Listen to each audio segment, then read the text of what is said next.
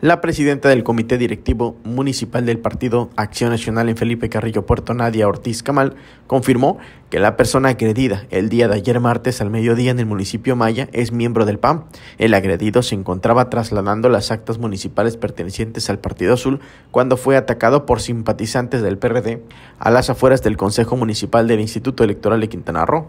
Las agresiones que incluyeron golpes y linchamiento verbal han sido condenadas por la comunidad y también calificados como infundadas y muy ajenas al espíritu democrático. Lo que pasa es que él es representante del PAN estatal, vino a buscar las actas a nivel este, federal para llevárselos a Chetumal, están haciendo el conteo allí. Y bueno, pues la gente aquí está malinterpretando la situación, sin embargo, pues su lucha es válida, está en todo su derecho pero pues retuvieron a una persona de manera ilegal. Bueno, el retenido tendría que hacer su, su denuncia. ¿Fue golpeado? ¿No sabes algo al respecto? Desconozco si fue golpeado, lo vi herido, pero pues es Así es, pues ellos, eh, los, los este, compañeros que se encuentran aquí, retuvieron nuestras actas municipales que le pertenecen al Partido Acción Nacional. La representante de Acción Nacional hizo un llamado a los periodistas a manifestarse sin agresiones ni violencia.